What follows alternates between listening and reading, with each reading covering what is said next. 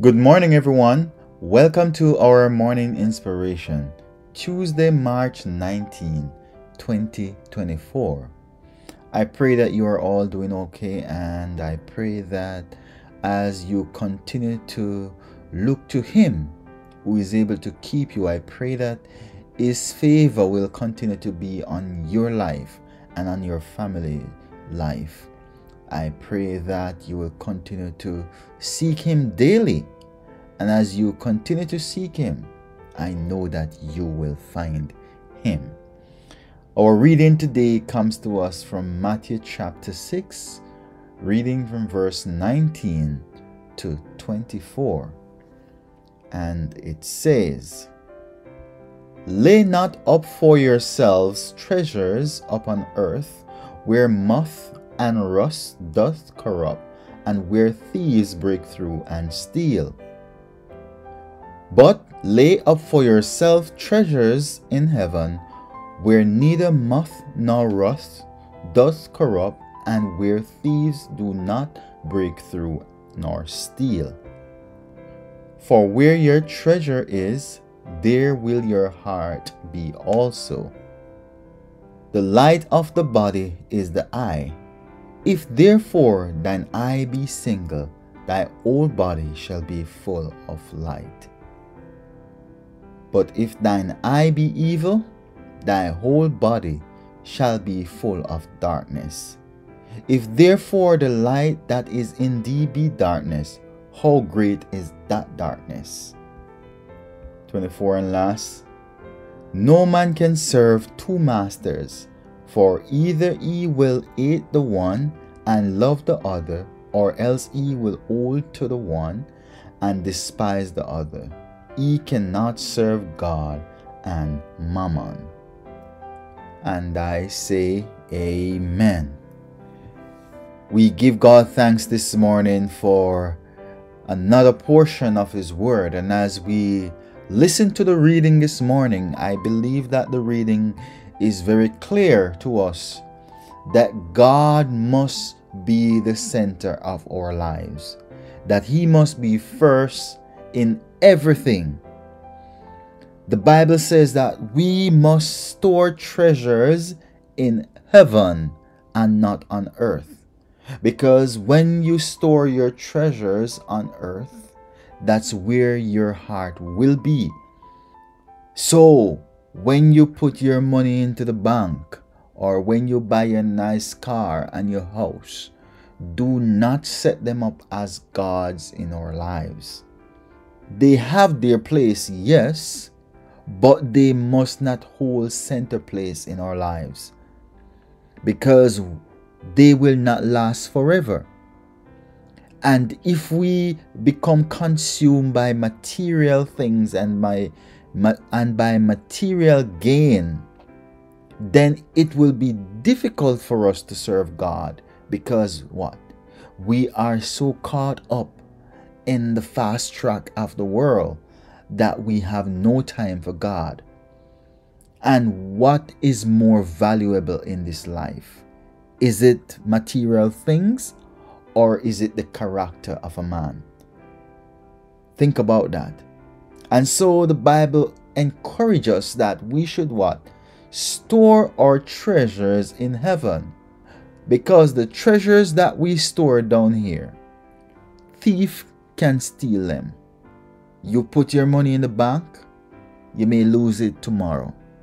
You buy a car, you might get robbed tomorrow. You buy a house, it may burn down, or thief may ravish it. So, all that we have on this earth are vulnerable to what? To the elements around.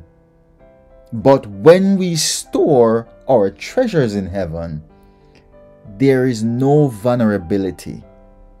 Our treasures are secure. Now you ask the question, what are those treasures? And my answer to you is a good character now, what does a good character consist of? Love. We must be kind. We must be God fearing. We must be patient. We must have the fruits of the Spirit. These things, these, these precious treasures are what we are to store because what these we will take onward into eternity.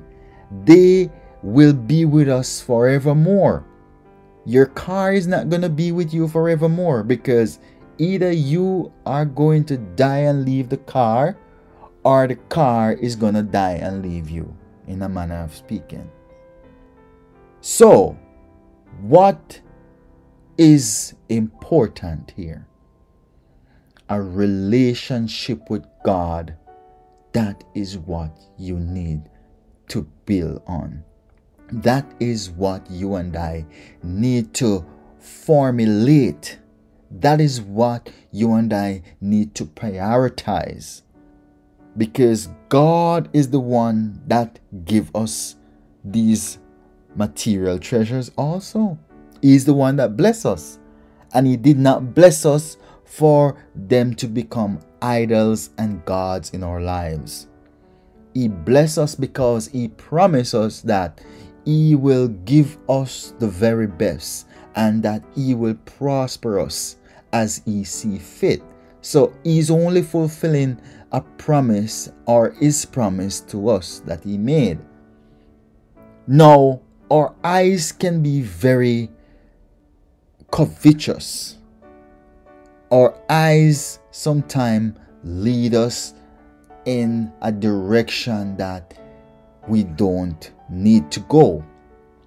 The scripture says that our eyes is the light of the body. So, what we see with our eyes, that information is fed through our retinas, our eye, and then it is registered in our mind, and then it what? It stay there and it become something. So it becomes action or it becomes a thought and something that we desire. Because think about it. If you don't see, if you have a car, right? The car is working fine, but then you walk past or you drive past and you see a new car it's a little bit better than your car that you have, but you don't need it. And you are willing to put yourself out, put yourself in debt. Maybe you're not even finished paying for the car you have now, but you are willing to put yourself out. Starve yourself. More debt on you just so that you can get that car. Now that is evil against your own self. That is not right. You, now you have become a slave to material things because it's not a need that you have. That's a want and a greedy want at that. You understand? So these are the things that the Bible is admonishing us about. And it also tells us that we cannot serve things and serve God at the same time. We cannot serve mammon and serve God. We cannot serve our money and serve God. We have to choose. In fact, even if we don't choose, we still choose. And oftentimes, the option that we choose is the material things or the treasures that are on earth and not God. And so we have to make a, a choice. Are you for God or are you for the things of this world? And don't get me wrong, I am not saying that you mustn't have nice things, and I'm not saying that you mustn't have a home or you mustn't have a car. That's far from what I'm saying. What I am saying and what the Bible is saying is that what? These things must not consume our lives. They must never become priority in our life. They have our place because, yes, you need a house to live in. And yes, you may need a car to get you from point A to point B or whatever. So these things, they do have their place. But some of us, we are so wrapped up and tied up and tangled up with these things that we have no more space for God. You know, I had I have a friend of mine that that work at the bank.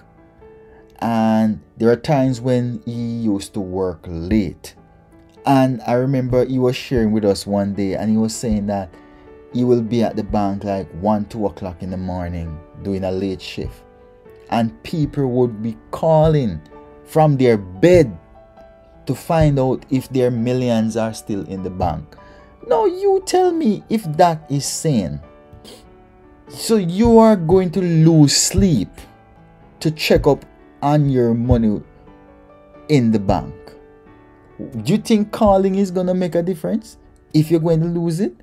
So, you see what I mean? So, this is what I'm talking about being consumed by material things. We should not allow ourselves to go that far. Do you understand? And so when we store our treasures in heaven, there's no thief that we uh, have to worry about. Our treasures are secure in the bank of heaven. And it has interest growing on it. So you get more interest than the bank give you. Right? It is well secure. You have countless security and you are well insured. So you have much more than you you would get at the physical bank. Hmm? You know, in the time that we're living in, you have to buy insurance for uh, practically everything that you have. And even when you get the insurance, there's no insurance because what? Sometimes a lot of these insurance they, they only protect you halfway or they just give you a smidgen. So you spend all these money to insure the product or to insure your things. And then the insurance they say they can only give you this amount. But that's not the point of insurance. So you see what I mean? So when we are caught up in material things, we poison ourselves. We poison our minds. We become covetous. We become, as they would say, bad mind. We, we will do any and anything to get these things because what? That's where our heart is. And when our heart is bound on earth, it will be it will be difficult for us to go to heaven.